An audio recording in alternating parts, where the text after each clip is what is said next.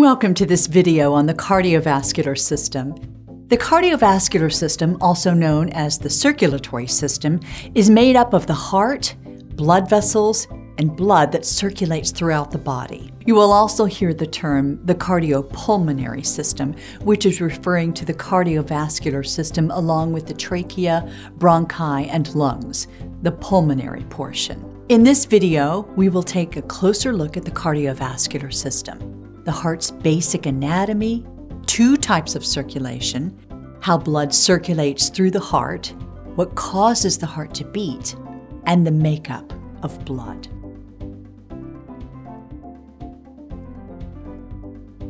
The heart is a muscle that sits in the upper left side of the chest behind the rib cage. It weighs roughly 10 ounces and is about the size of a clenched fist. The heart is made up of a system of chambers and valves. The chambers momentarily hold blood, while the valves allow blood to flow in one direction to the next chamber. It beats about a 100,000 times a day and sends blood throughout some 60,000 miles of blood vessels. There are several components that help the heart function properly. The heart is composed of three layers the epicardium, the myocardium, and the endocardium. The epicardium forms the outermost layer of the heart wall and protects the heart's inner layers. It contains the coronary blood vessels which supply blood to the heart. The myocardium layer is like a pump, contracting to pump blood out of the heart and then relaxing to let the heart fill with blood again.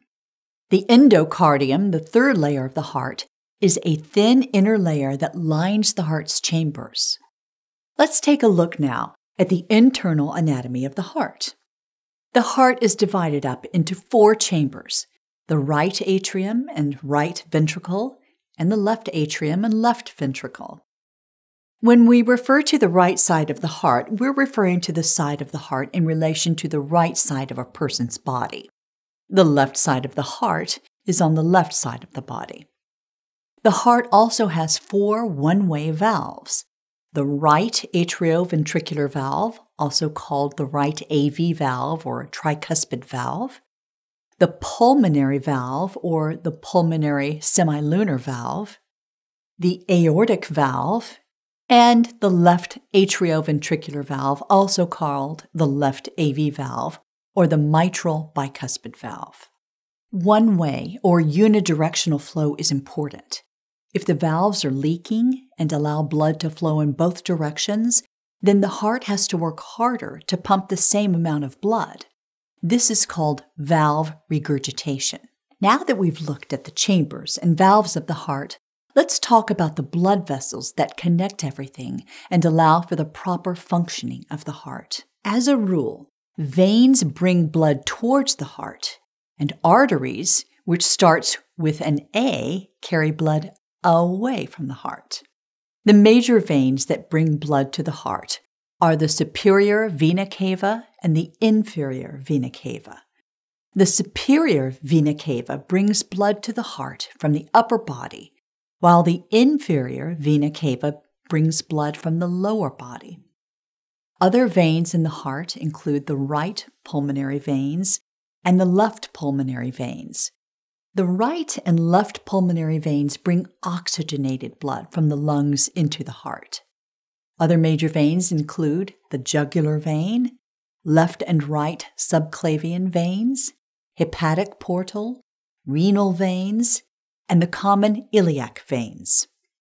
Moving further from the heart and closer to the extremities, the blood vessels get smaller and the veins become venules. The heart also has arteries, taking blood away from the heart. Some major arteries include the right pulmonary artery, the left pulmonary artery, and the aorta.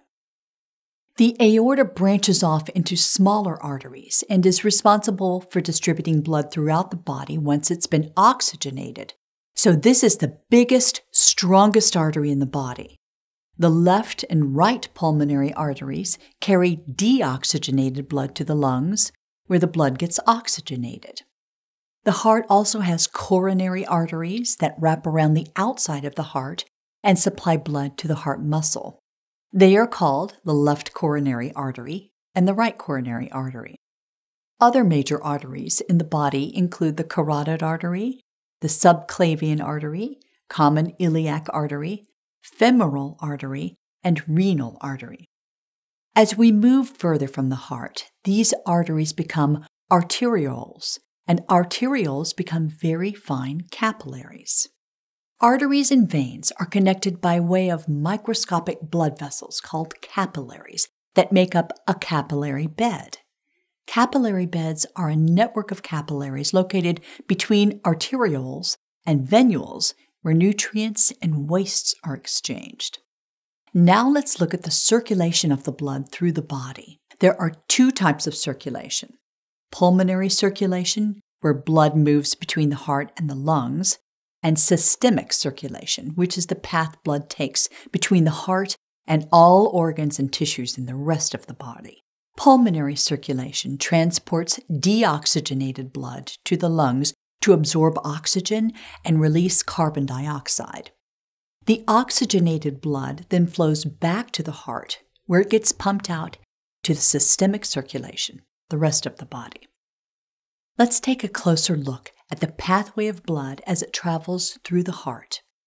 Starting with oxygen poor blood in the superior vena cava, this blood will flow into the right atrium, where it is then forced through the right AV valve into the right ventricle. Blood passes through the pulmonary semilunar valve and is forced up into the pulmonary arteries so that it can be oxygenated in the lungs. Once the blood is oxygenated, it re enters the heart through the right and left pulmonary veins and travels into the left atrium. From here, the blood is forced through the left AV valve and into the left ventricle.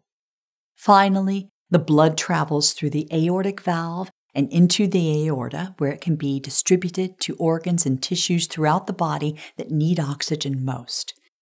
The real gas exchange takes place in the capillaries, where tissues trade their carbon dioxide for oxygen the blood is carrying.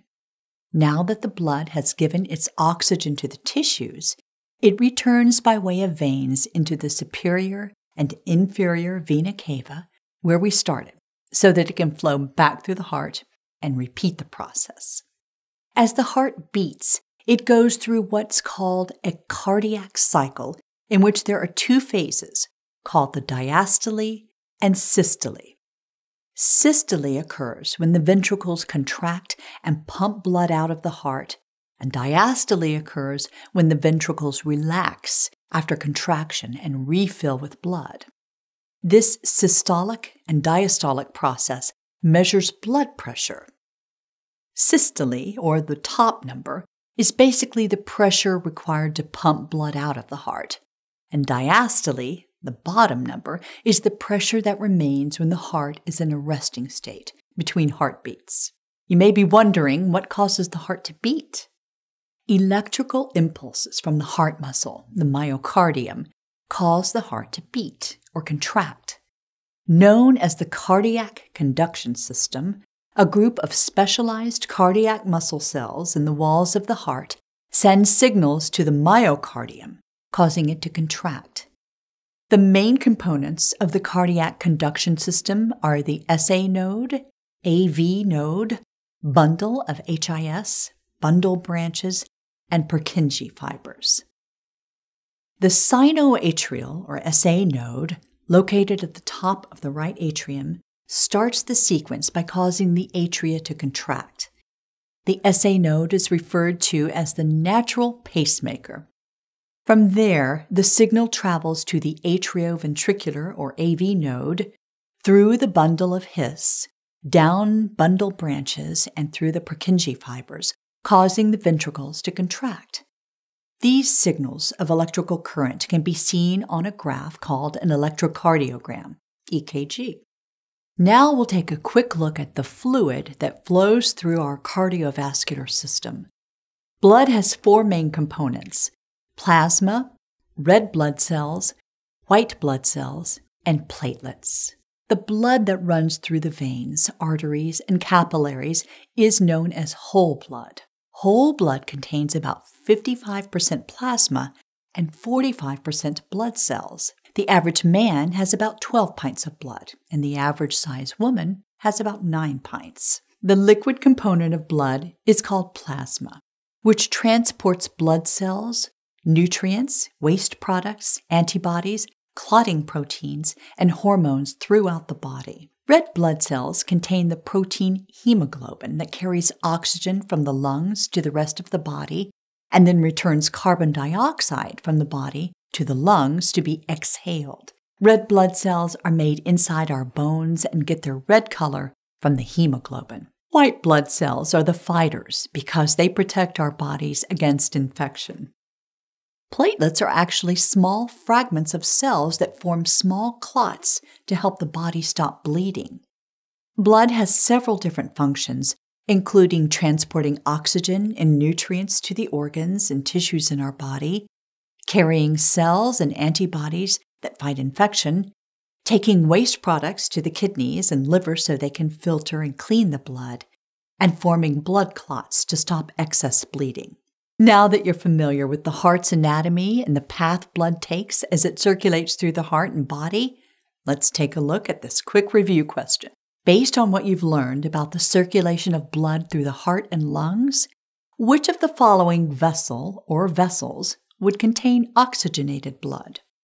Is it A, inferior vena cava, B, right and left pulmonary arteries, C, right and left pulmonary veins, D, the aorta, or E, both C and D?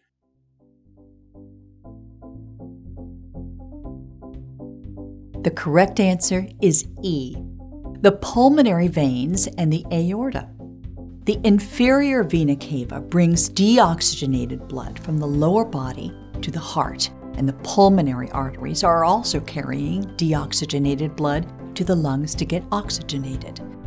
Blood in the right and left pulmonary veins just came from being oxygenated in the lungs, and the aorta is carrying that oxygenated blood from the left ventricle to the rest of the body. I hope this review is helpful, and happy studying!